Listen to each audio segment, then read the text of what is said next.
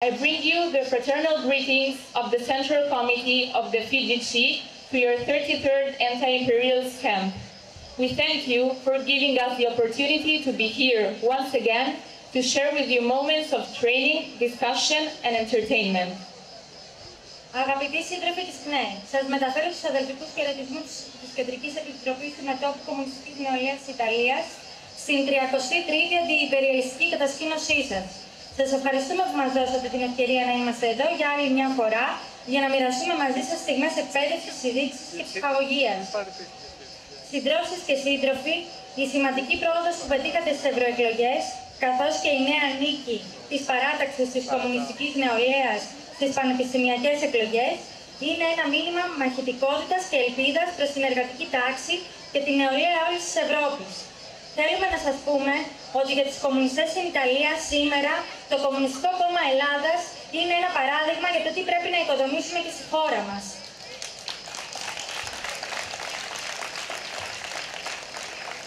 Ένα σύνθημα στην Ιταλία λέει «Δεν υπάρχει νίκη, δεν υπάρχει κατάκτηση χωρίς ένα μεγάλο κομμουνιστικό κόμμα». Σήμερα βλέπουμε την αλήθεια αυτής της φράσης. Πριν από λίγες ημέρες στην Ιταλία πέθανε ένας εργάτης γης αφού έχασε το χέρι του στην εργασία του. Πέθανε επειδή ο ιδιοκτήτης τον φόρτωσε σε ένα φορτηγό και τον πέταξε σαν σκουπίδι στον δρόμο μπροστά από το σπίτι του κάτω από τα μάτια της γυναίκας του. Τον άφησε να αιμορραγεί χωρίς να καλέσει για διάσωση. Η πρώτη δήλωση του Υπουργού Γεωργίας ήταν «Δεν πρέπει να ποινικοποιήσουμε τις επιχειρήσεις και τους επιχειρηματίες». Λοιπόν, αν υπήρχε ένας διαφορετικός συσχετισμός δυνάμεων στην Ιταλία, αν είχαμε τώρα ένα μεγάλο και ισχυρό κομμουνιστικό κόμμα, αυτός ο Υπουργός θα έπρεπε να παραιτηθεί μετά από μια τέτοια δήλωση.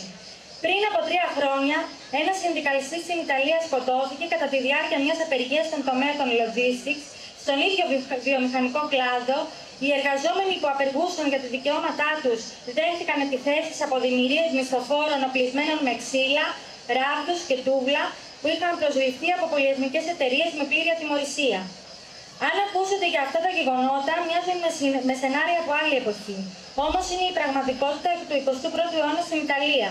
Μια μεγάλη καπιταλιστική δύναμη της G7 και μια από τις κύριες ευρωπαϊκές δυνάμεις. Όπως βλέπετε, είναι η καθημερινή πραγματικότητα του καπιταλισμού που μας δείχνει καθημερινά πόσο πολύ χρειαζόμαστε τους κομμουνιστές.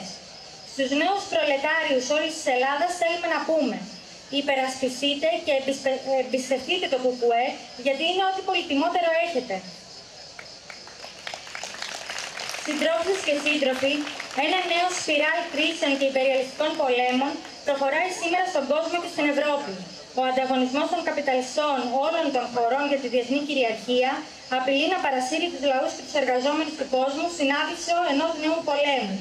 Στο όνομα του κέρδου τσακίζουν τα δικαιώματα εκατομμυρίων ανθρώπων, εργατών και παιδιών της εργατικής τάξης. Στην Ιταλία κινητοποιούμαστε ενάντια στη συμμετοχή της Ιταλίας στον υπεριαλιστικό πόλεμο στην Ουκρανία.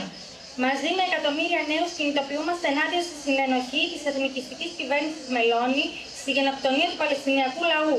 Οι μαθητές εξακολουθούν να αγωνίζονται ενάντια στο εγκληματικό σύστημα της εναλλαγής σχολείου και εργασίας, το οποίο το 2022 σκότωσε τρία νεαρά αγόρια ενώ έκαναν σχολική πρακτική άσκηση δουλεύοντας δωρεάν σε καπιταλιστικές επιχειρήσεις. Καταγγέλνουμε τα, υπερια... τα... τα υπεριαλιστικά σχέδια της κυβέρνησης Μελώνη και του Ιταλικού κεφαλαίου που δηλώνουν ανοιχτά τις φιλοδοξίες τους προς τα Βαλκάνια, τη Βόρεια και Ανατολική Αφρική και άλλες περιοχές. Comrades, the road to overthrow this system, our struggle for a better world, free from exploitation, poverty, war, is long and full of obstacles. But we are certain that in traveling this path, we will always find ourselves side by side.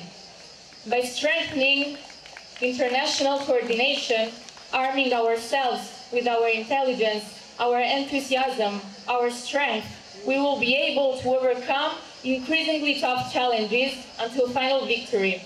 Long live the common struggle of CNE and PGC. Long live proletarian internationalism.